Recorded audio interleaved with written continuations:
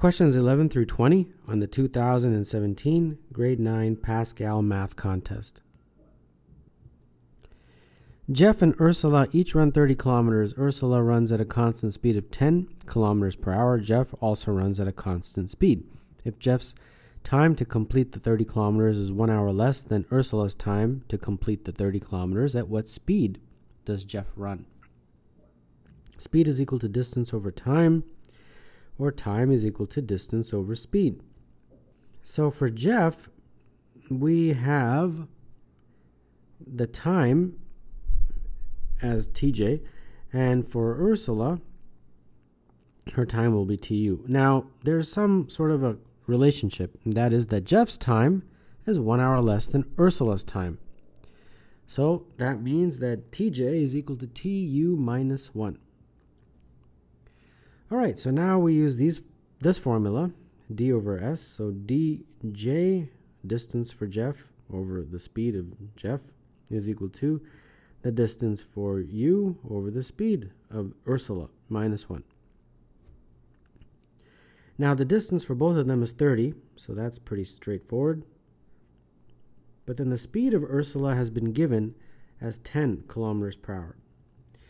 All right, so we got 30 over Sj, and this looks like 30 divided by 10 is 3. 3 minus 1 is 2.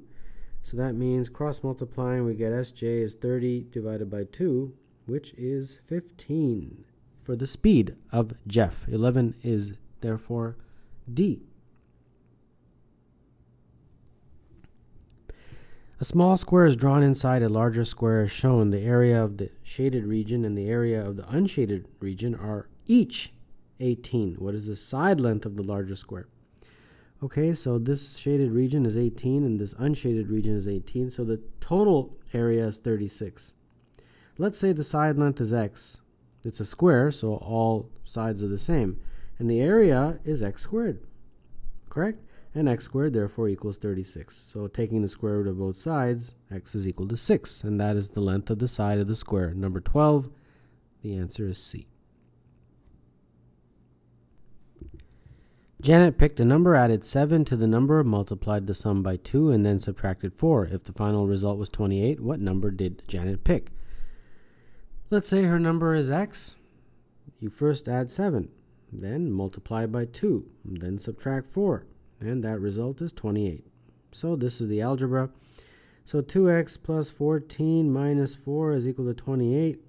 So that means 2x is equal to 28 uh, minus 10. 2x is 18, and therefore x is equal to 9. So number 13, the answer is A. Tobias downloaded M apps. Each app costs $2 plus 10% tax. He spends $52.80. In total on these M apps, what is the value of M? All right. So each app is $2 plus 10% of $2. And he has bought M of them, and that total is 52.80. So this is the math. So this is going to be 2 plus 0.2 is equal to 5280. So that's what, 2.2? And therefore, 5280 divided by 2.2 is going to be m.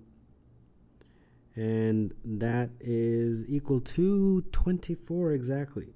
So he downloaded 24 expensive apps. Number 14, the answer is D.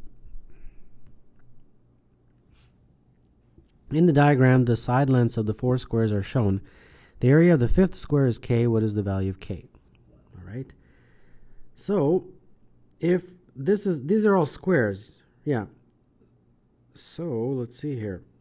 If this is one, then that means this must be one. That distance from here to here, and therefore the distance from there to there will be three minus one. So this distance here is two.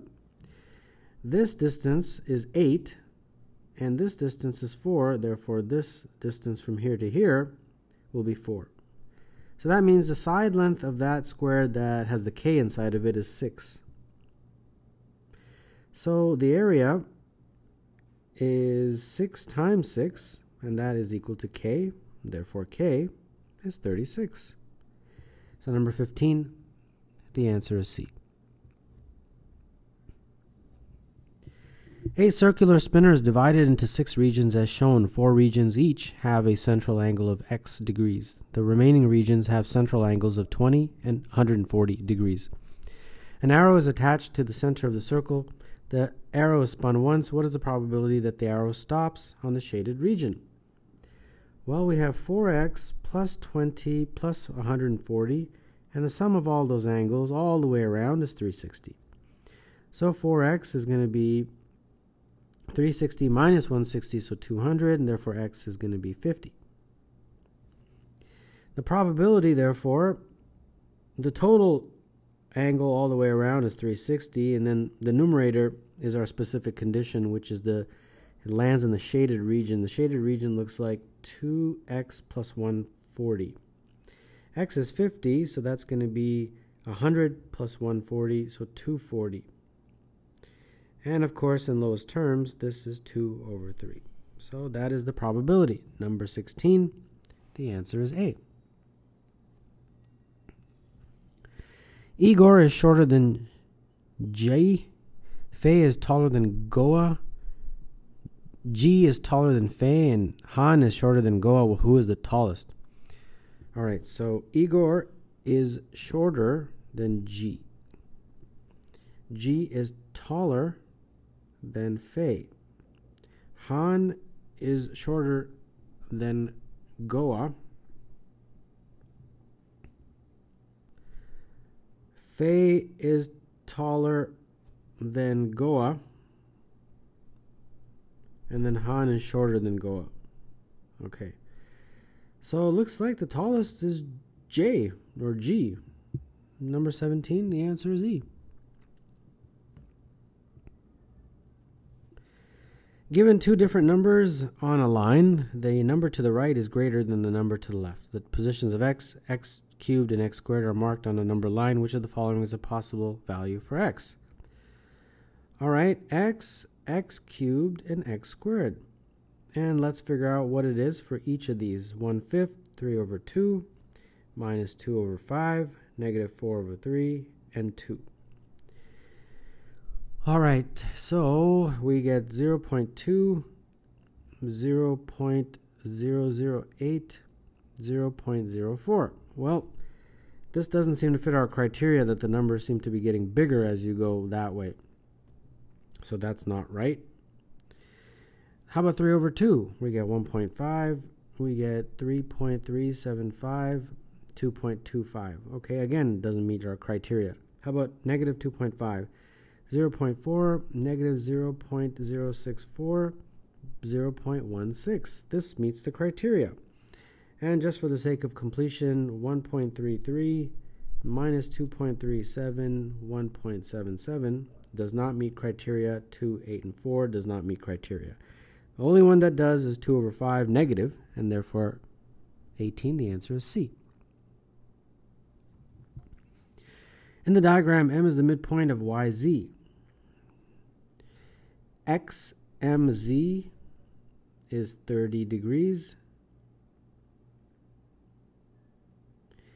And XYZ is 15.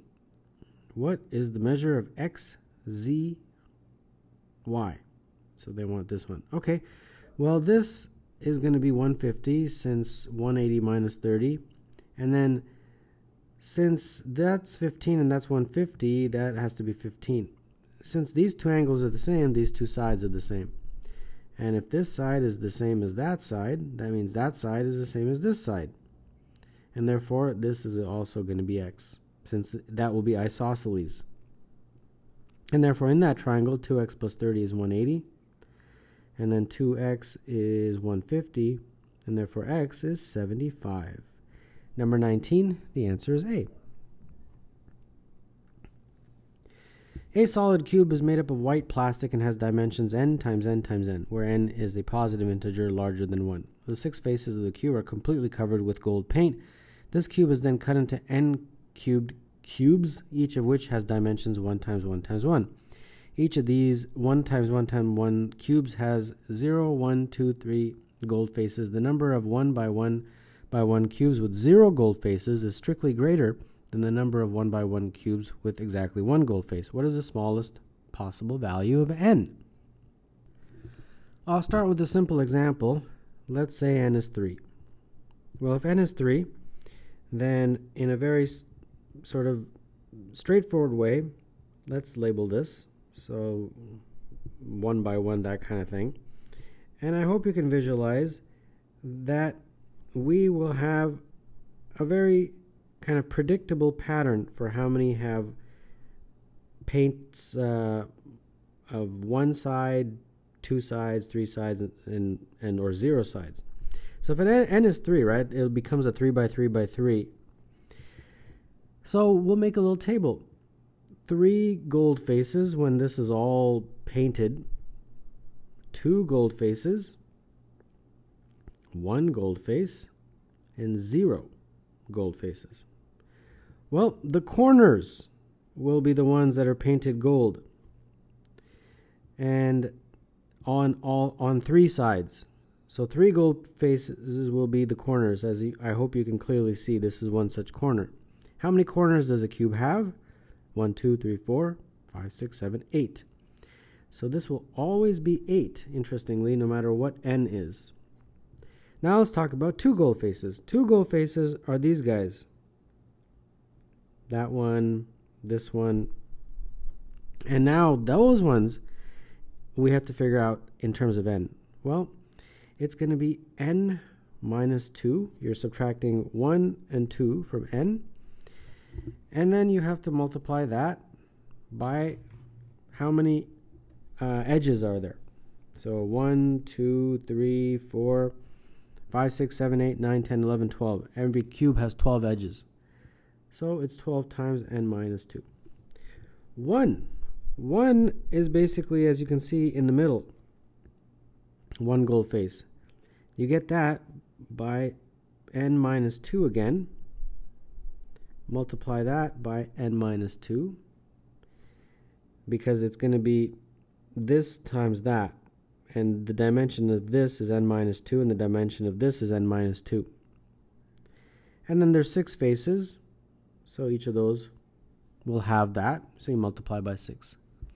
And then zero gold faces is the ones in the middle that you can't see. And that is basically a cube itself, n minus 2 times n minus 2 times n minus 2. So let's see, when n is 3, what happens? When n is 3, well, this number is always going to be 8. This number becomes uh, 3 minus 2 is 1, so 12. 3 minus 2 is 1, so this is 6. And then this is just going to be 1. So add them all up, 27. Is n cubed equal to 27? It is. So as you can see, this all matches. If you can come up with this, you are set.